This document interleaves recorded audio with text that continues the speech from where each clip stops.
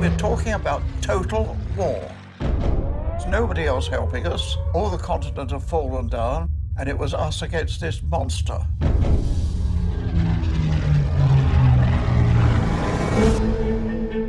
The Spitfire was built as an interceptor fighter.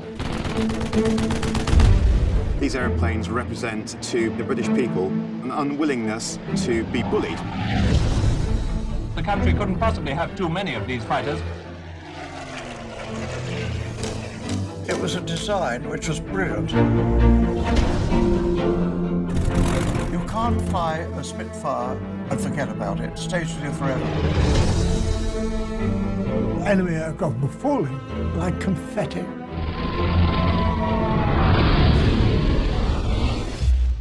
We were cock a hoop.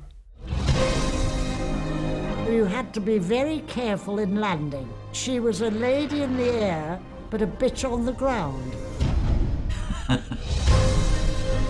I looked up, and the air was filled with Germans. Had they landed, they'd have won. And the course of world history would have been changed. We've got to always remember those who didn't come back. This aeroplane stands for so much grace and gallantry. She is a symbol of freedom.